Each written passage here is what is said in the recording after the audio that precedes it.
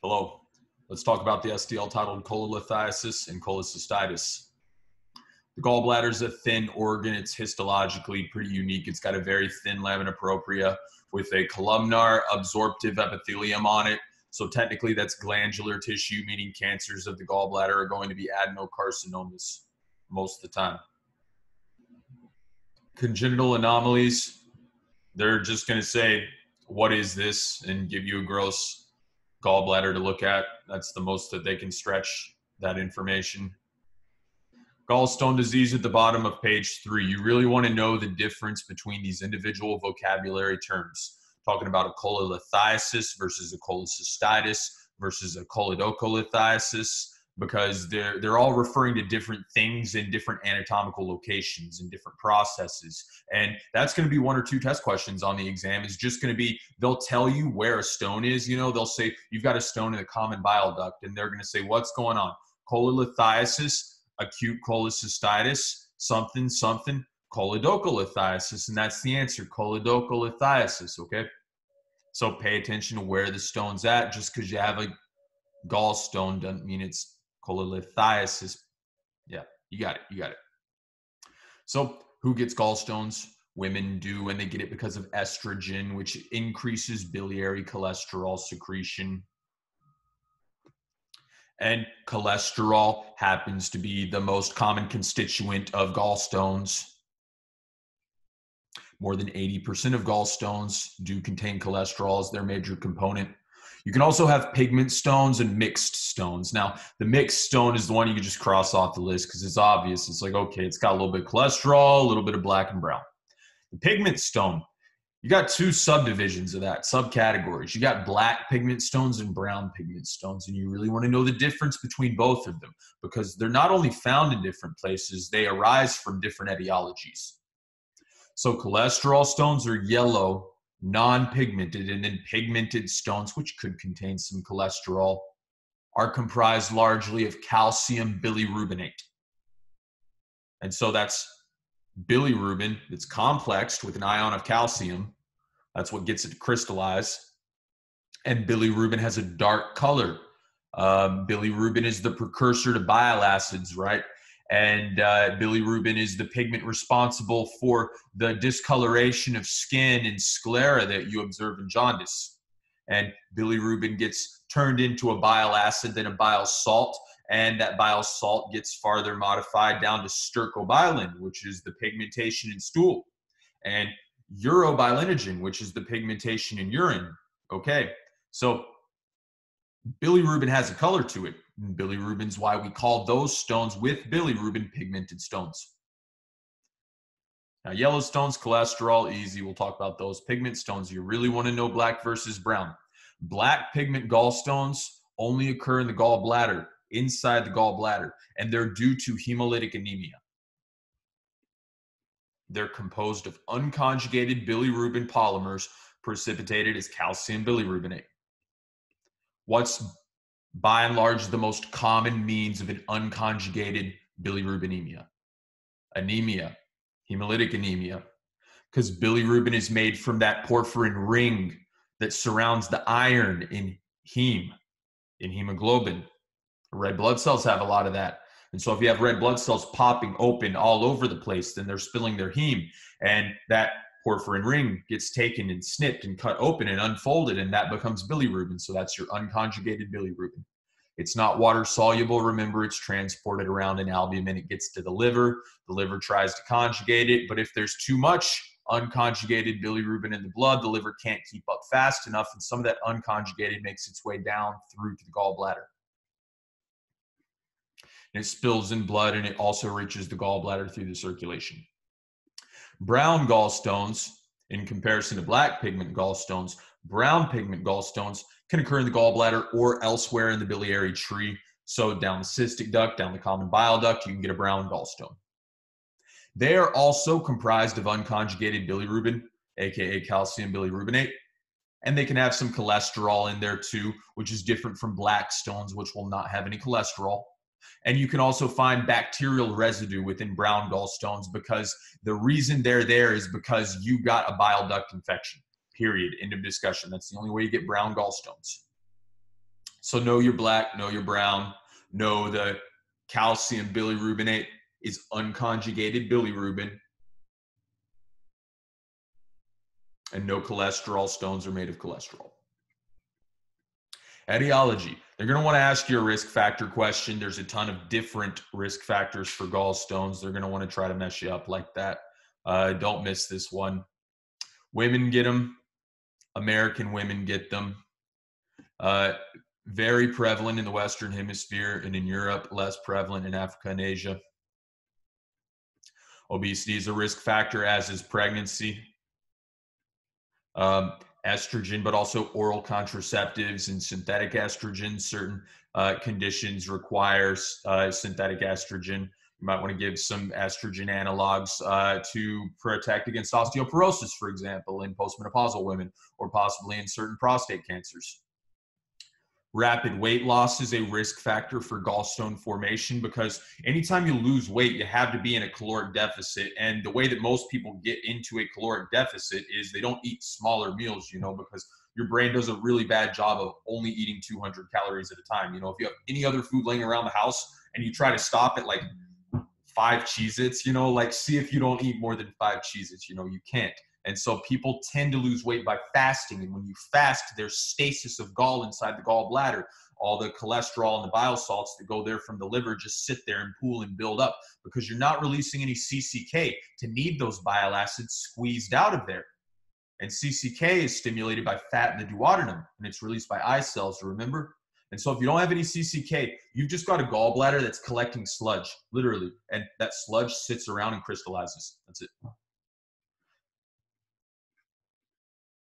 Estrogen. We said oral contraceptives. A couple of drugs can give you gallstones. Clofibrate is one. Uh, cholestyramine is another.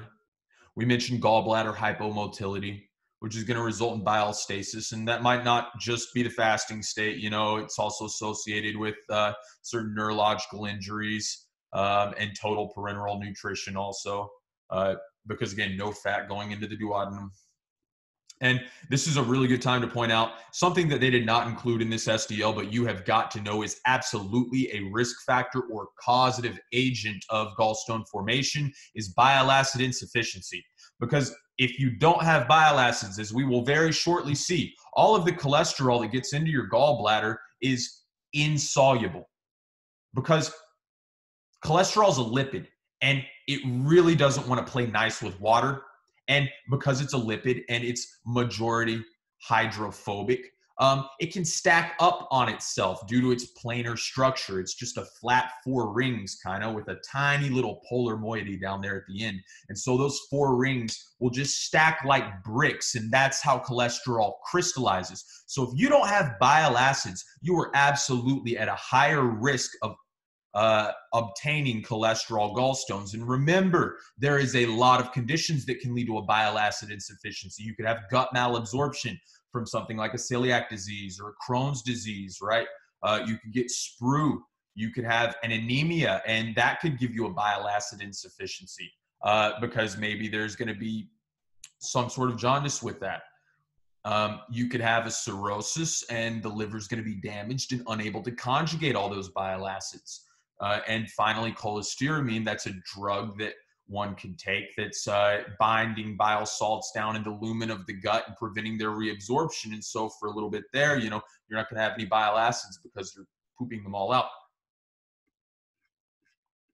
So that's cholesterol gallstones we just talked about. Now let's talk about risk factors for pigment gallstones. I think this is also a likely question. Black pigment gallstones are strongly associated with anemias and disorders of hemolysis, hereditary spherocytosis. Some of you guys might know what that is. That's a defective spectrin protein that sits right at the internal membrane of red blood cells and helps them maintain their shape, their biconcavity. And if you don't have that spectrin protein, well, then you have a bunch of globe shaped red blood cells in your blood. And that's not good because they need to be able to move and bend to accommodate to some very narrow capillaries throughout the body. And if they can't deformed themselves due to the spectrin defect. They're beach balls, literally. You know, it's like a beach ball doesn't bend, it just pops. So that's what ha- that's how you get an anemia in spherocytosis. And then there's beta thalassemia. Remember that is not the same thing as sickle cell, but we did learn about it in one of the same lectures. So just don't confuse those two in your mind. A beta thalassemia is a problem making the beta subunit of hemoglobin. Remember, a normal hemoglobin has two alphas and two beta subunits. And then cirrhosis again is going to cause a black pigment gallstone, cause yellow pigment gallstone, but it can cause black one too because with cirrhosis, you're going to get a splenomegaly because of the portal hypertension as blood has a harder and harder time making its way through that fibrotic liver. And so red cells are going to reach the spleen and pop, pop, pop, leading to an increase in hemoglobin turnover. And in fact, almost half of all cirrhotics do have pigment gallstones. And remember, those are only in the gallbladder. You don't see them in the biliary tree. And the last point I have to say about that is that pigment gallstones might even be the presenting symptom of a hereditary anemia that's mild and someone doesn't even know that they have it, you know. But you can see absolutely see a 19, 20, 24 year old patient walk into your office and they're starting to jaundice a little bit, or maybe they're having uh, some pain, uh, colicky pain, shoulder blade radiating, and you're like, oh, why are they having a gallbladder problem? Could be an anemia. So then we talk about brown pigment stones, and remember, brown pigment stones are also made of uh, bilirubin, calcium bilirubinate, like black stones, but unlike black stones, brown stones are due to infection, not hemolysis. So, what's the causative agent for that infection? Usually parasites, Ascaris lumbricoides, Clonorchis sinensis, Fasciola hepatica. Those three uh, organisms do like to crawl up into and colonize the biliary tree. Um, so Ascaris is the the uh, giant round worm, and I think that actually stays in the duodenum, if I'm not mistaken, and it'll block the major duodenal papilla, and that's how you're going to get. Uh, or I guess it can crawl up in the biliary tree rarely. Clonorchis, that's the liver fluke, and that's the one that really gets up in the liver every single time by means of the biliary tree. It can not only lead to gallstones, but also uh, cancer of the gallbladder and cholangiocarcinoma as well. So, brown stones infection, black stones hemolysis. They want to ask you about that. They really do. And they want to ask you about what's the stone made of, you know, calcium bilirubinate. And then they want to ask you about one of these dumb sentences in the middle of this two page block of pathogenesis, they're going to say, which of the following factors contributed to the formation of this gallstone? You know, like in that, in that high academic type of way. They're going to expect you to just know exactly what went wrong. And so I've highlighted some sentences throughout this text that might help us get that question right if we do see it. So here's what happens you get a lot of cholesterol, and the cholesterol clumps together. Again, it crystallizes, and that leads to stones. But it's not that simple, especially if you're going to be a doctor, because you need to know every single part of this. So, as we said, a bile salt deficiency is going to lead to stone formation. Why? Because bile salts emulsify cholesterol. So, if you don't have enough bile salts, cholesterol doesn't dissolve in solution. It sticks to itself because it's hydrophobic. And that's stated in the text in the middle of page six here. Bile acids self aggregate as simple micelles, binding a molecule of cholesterol, leading to increased aqueous solubility of cholesterol. So that's the big idea from this first paragraph here. Then we talk about nucleation.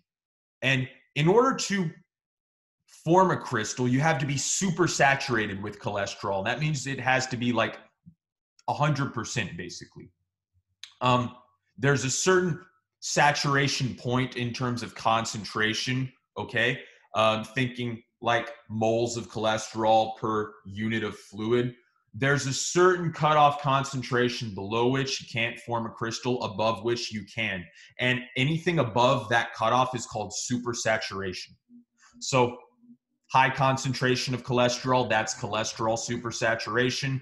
I wouldn't be surprised if that was like an answer choice on some question or confounding answer choice because you know it sounds sounds super, you know. So it's like a couple people might click that just thinking whatever, hey, it's super.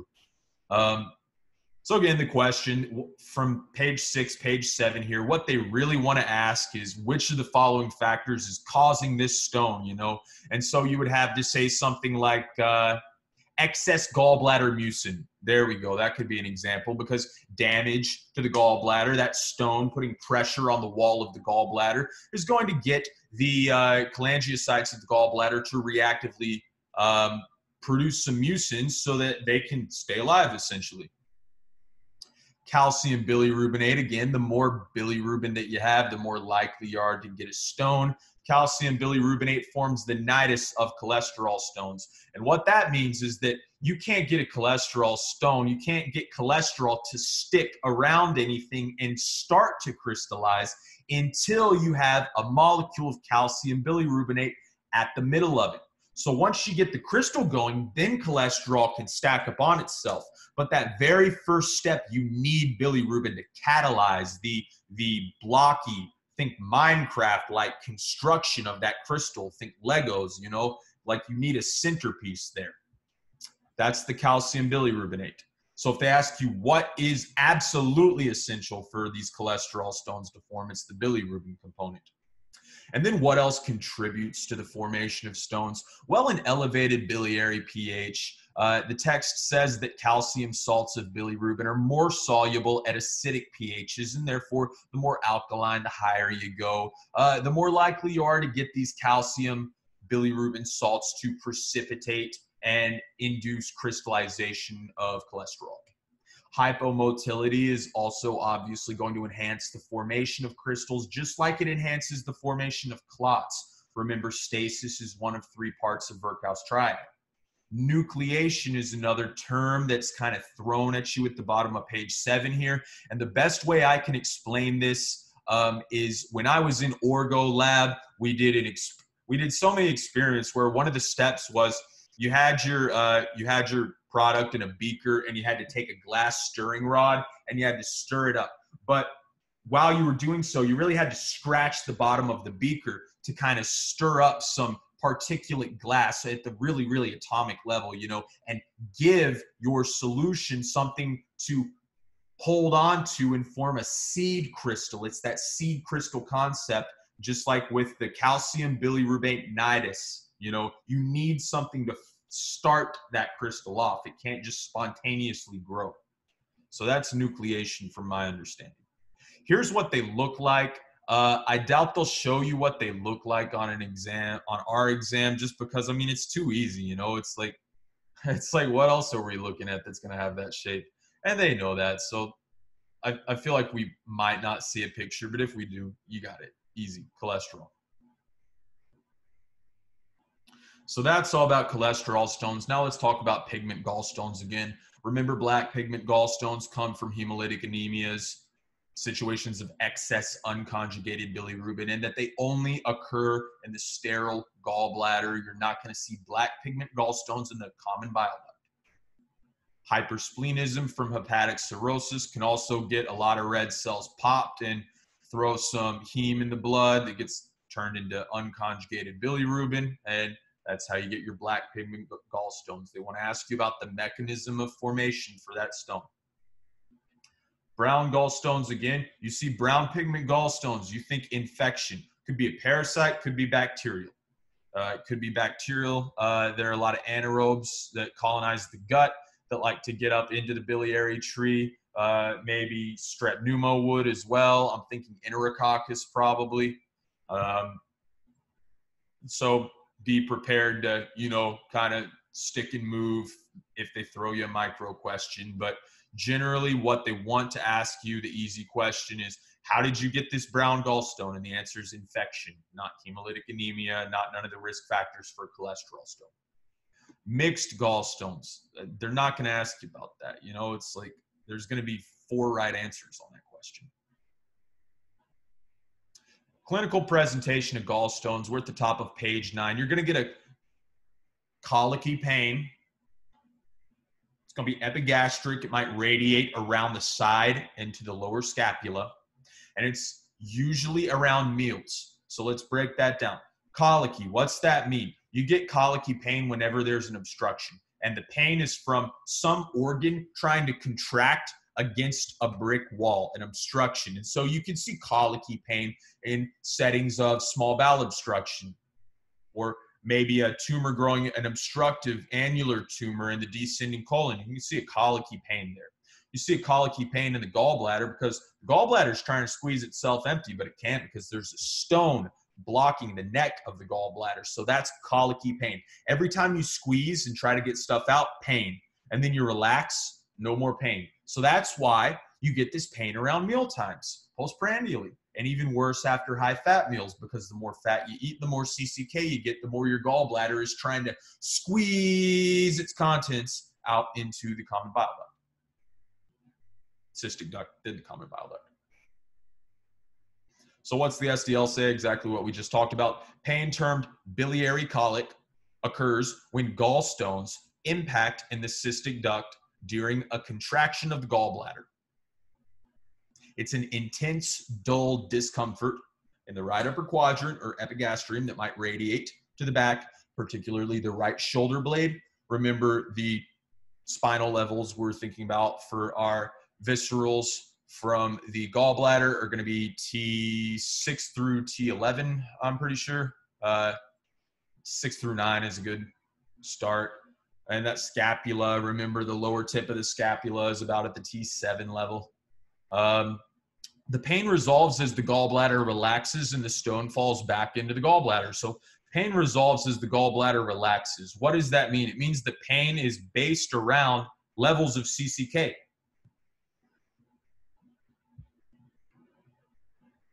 So 6 through 11, 5 through 9.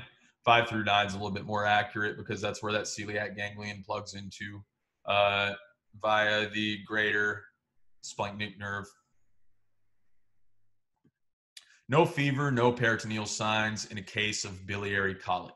Now, if you get acute cholecystitis, might start seeing those things because that's associated with infection and a very high degree of inflammation.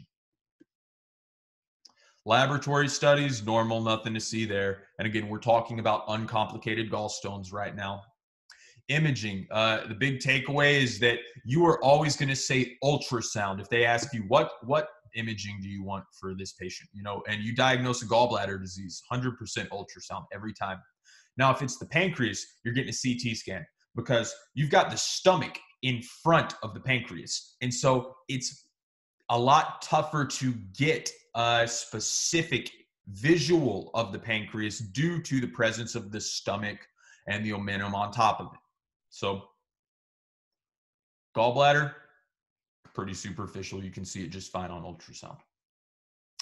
Now let's talk complications. What you want to know is gallstone ileus. What's ileus? Uh, complete loss of motility in the bowel. Why would you get it because of a gallstone? Well, because it's so big that it plugs up the ileocecal valve typically uh, down where your ileum meets your cecum, right? The small to large intestine transition. And what they want to ask you about this is they want to know how did the stone get in the valve, you know?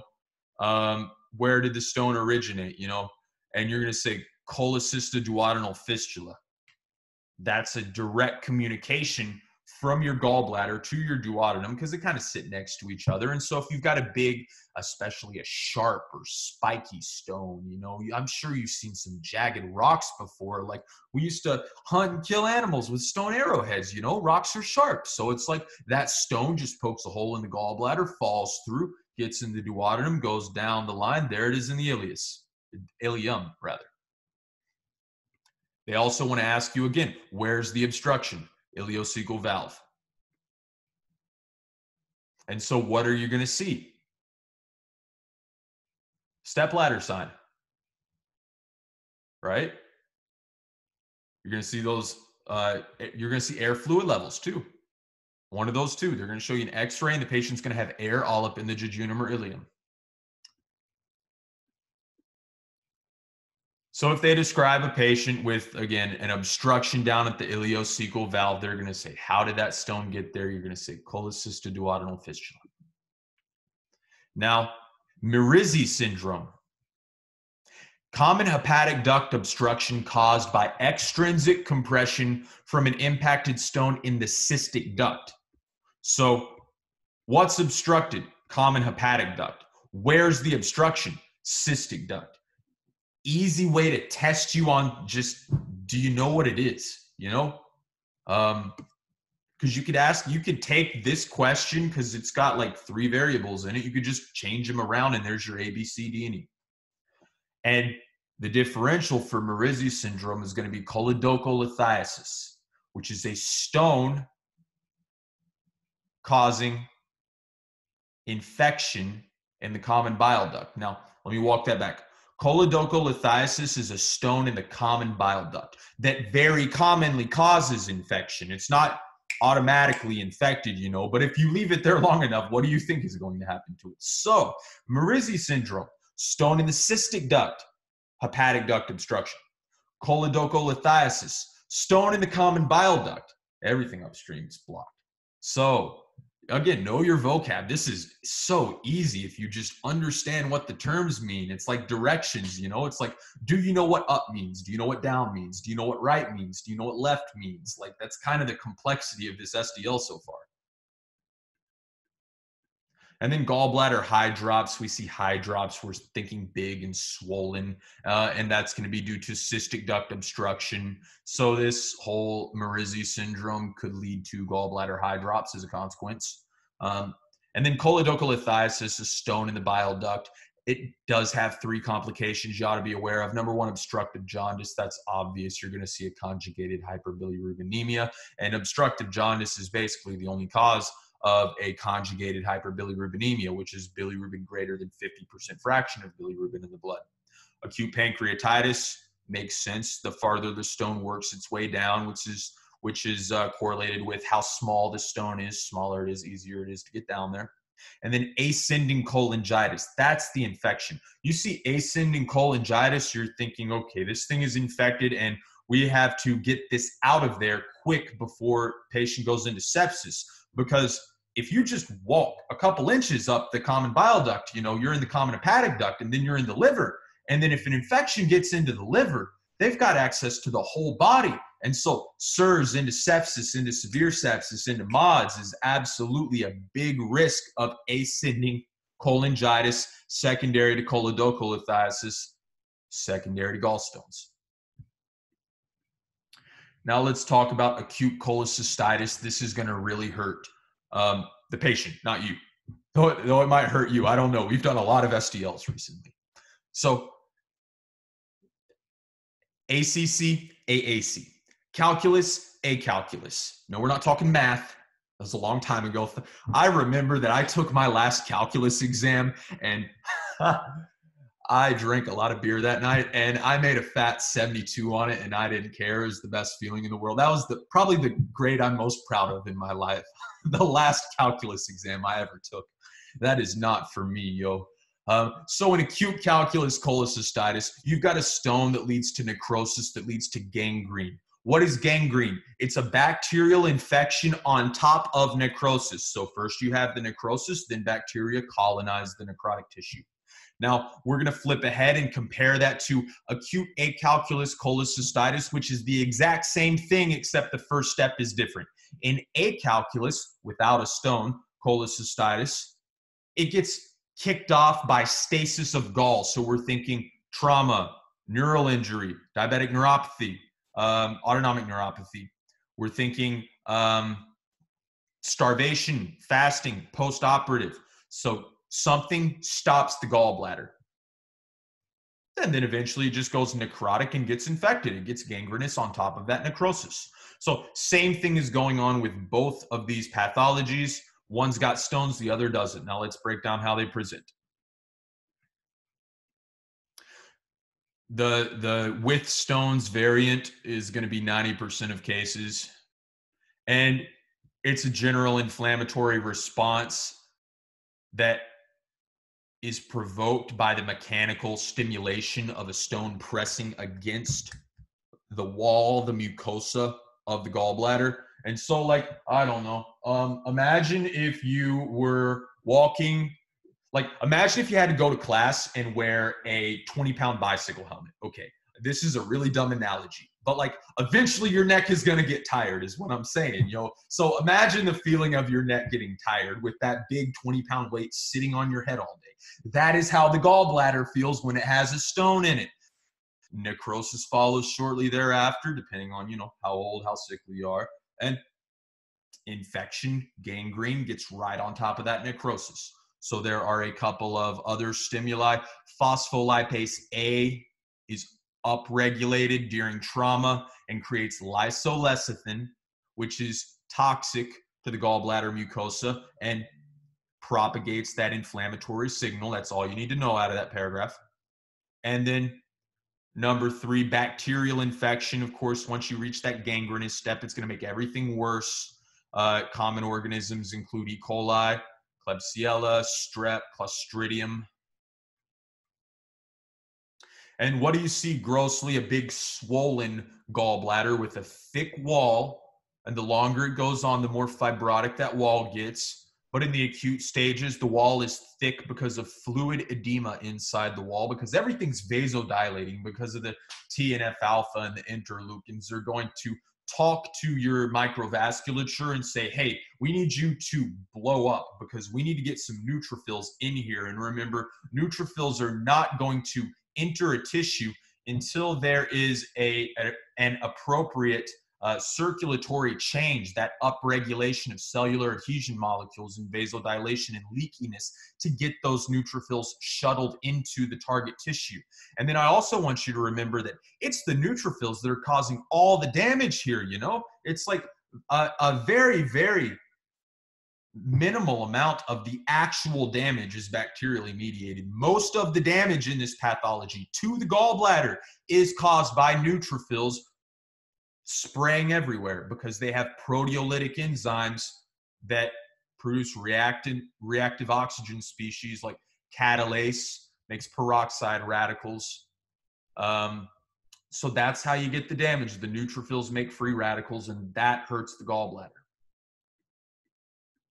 what do these patients look like clinically nothing you won't be able to figure out on your own just know this murphy sign understand what the murphy sign is you're going to palpate the gallbladder essentially. Uh, you're going to find where it is, and then you're going to have the patient take a deep breath in. And you know, when you breathe in, your rib cage expands, and so your gallbladder is going to go down and out too as it gets kind of pushed by that diaphragmatic expansion. And so, if, when the gallbladder presses up against your fingers, if it is inflamed, then the nerves in the gallbladder are going to go ding, ding, ding, ding, ding, and that's going to cause an acute exacerbation of the patient's pain. You're going to see leukocytosis in the blood. Um, it's got roughly the same timeline as appendicitis. It's got some of the same findings as appendicitis. Um, you might see abdominal guarding as you would in appendicitis. You might see fever as you would in appendicitis. Um, steady severe pain as an appendicitis. So, what am I trying to say? Like in the real world, you know, when we're not taking an exam, appendicitis better be on your differential. Leukocytosis with a left shift, again, appendicitis will give you that. IBD will give you that. Sonographic Murphy sign, you can produce some pain when you're just uh, kind of digging in there with that probe, that ultrasound head. Complications of acute cholecystitis, gangrene, check. Hemorrhagic infarction, check, makes sense. Perforation, makes sense too. There's a stone, everything around it is turning to mush. Of course, it's going to go straight through. So, can you get peritonitis from that? Absolutely. Alternatively, instead of going into the peritoneum, the stone can go into the gut, and that's a cholecystoenteric fistula. Could that lead to a gallstone ileus? Absolutely. Where's it going to happen? Ileocecal valve. Could that lead to appendicitis? Lord, that would be one unlucky patient. But yes, I suppose that could create an appendicolith, you know, if that gallstone just ding, ding, ding, falls into that appendix lumen. Acalculous cholecystitis, again, same thing. A lot of necrosis, infection leading to gangrene uh, well, rather gangrene on top of necrosis. And uh, it starts off with stasis of the gallbladder rather than stones. You don't see stones. What you need to know about this one is that patients are in the hospital already. They're critically ill. They're typically pretty old, already hospitalized, critically ill. So they ask you about this. The patient's going to be in a hospital and critically ill. Imagine that. What do they want to ask? Well, what's causing it? You know, is it a stone or is it stasis? You know, like, is it an infection? Is it a liver problem? Because we have liver stuff on this exam too. Is it a pancreatic problem? So they're going to throw four differentials at you, and the correct answer is going to be uh, acute acalculous cholecystitis due to gallbladder stasis. So the stasis creates ischemia because the buildup of too much bile is directly toxic to the gallbladder. That's in the middle of page 12 there. Underline it twice for the people in the back. And it has even been proposed to rename acute acalculous cholecystitis to acute ischemic cholecystitis to further clarify its main mechanism. So again, they want to ask you about the mechanism, ischemia, ischemic cholecystitis. And you're going to get a bacterial infection. Doubt they'll ask you about that. If they do, stick and move. A lot of different species as usual. Uh, what makes this unique on imaging is that you can't see it on a HIDA, and that's essentially a flow analysis of fluid into and out of the gallbladder. Uh, and so it you take this scan over the period of like an hour and a half, two hours. And if there's a stone, then you're going to be able to detect the obstruction in the bile duct or cystic duct or gallbladder neck, wherever the stone is, because everything downstream from the stone won't take up the radio labeled dye. But if you have acalculous cholecystitis, you don't have an obstruction. So you're not going to see it on some imaging techniques. Again, you always get an ultrasound of gallbladder. Uh, decent mortality rate, 30%.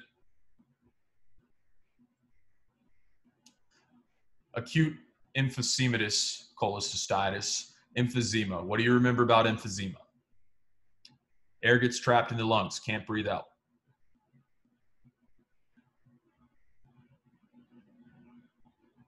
So, emphysematous cholecystitis is air in the gallbladder lumen wall, or pericholecystic space.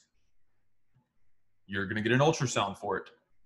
CT is the test of choice, but CT is not your first test for general gallbladder diagnosis. Uh, what they could ask you, they could show you an x ray or a CT, and the gallbladder is basically going to be empty on the inside, and they could just say, What's the diagnosis? You know? And they're just going to be testing to see if you know what emptiness looks like on imaging. Chronic cholecystitis, same thing we've been talking about. Patients got long, ongoing colicky based around meals, pain that's associated with uh, not really six through 11, five through nine. I don't know. It depends on what source you ask, if you ask me. Uh, so you've got this five through nine pain in your paraspinals, TART changes. That's going to be in the question stem. Uh, for any gallbladder disease as well, you know. Uh, what do you see in chronic? You see chronic infiltration or chronic immune infiltration, lymphocytes, plasma cells, and monocytes. You see fibrosis of the gallbladder wall, and you might see gastric metaplasia of the epithelium because it's been damaged for so long. That's about all I could see them asking you about for chronic because nothing else is really too different from acute cholecystitis here. Again, clinically, you've got this pain that's there, and then it's not, then it's there, then it's not. It's probably going to radiate uh, it's due to CCK again because the gallbladder is trying to contract, but it can't get its stuff out. And when you contract an inflamed tissue, it really hurts. You know, it's like think about trying to go to the gym and do squats five days in a row. It's like day five, your legs hurt. You know. You must be stupid before you can become wise. Preferred treatments, laparoscopic cholecystectomy. Now we talk about porcelain gallbladder. Uh, same thing as the emphysematous gallbladder. They're really just going to show you a picture of this and say, do you know what's going on? And what they also might ask you is like, what are you at a greater risk of? And the answer to that is going to be gallbladder carcinoma. They also might throw you this uh, as a differential in a liver cyst image, or maybe they'll throw liver cysts and tumors as a differential, and they want you to pick this. Um, you got to recognize that cysts of the liver are not going to show calcifications on CT. And the fact that this gallbladder is calcified is why we call it a porcelain gallbladder. You pull it out, you know, and it's like it's like grandma's china, you know, it's like this thing could like sit on a shelf. It's a gallbladder. Um, so what's the pathogenesis? Obstruction of the cystic duct, calcium salts buildup. This is an example of dystrophic calcification. And then, uh, again, increased risk gallbladder carcinoma, uh, which is a scirrhous adenocarcinoma, scirrhous meaning dense, tough, fibrous. And there's like six different risk factors from it. So when you get to that SDL, make sure you pay attention to the risk factors for gallbladder cancer. They are supernumerary, seemingly. Cholesterolosis is characterized by foamy macrophages in the lamina propria of the gallbladder. Where else have we seen foamy macrophages? We've seen them in the tunica intima of large arteries. That's called atherosclerosis. And cholesterolosis of the gallbladder is when same physiologic process happens in the gallbladder. So what does it look like? Big yellow lumps, nodules. This is called a strawberry gallbladder. So th- this is yet another question that the most obvious way for them to ask this, or really kind of the only way for them to ask this, is to show you a picture of it histologically or grossly. And I mean, there's nothing you're going to mistake this for, nothing else that you can confuse this with in this SDL. So you're good. All right, that's SDL 26, cholelithiasis and cholecystitis. Thank you very much.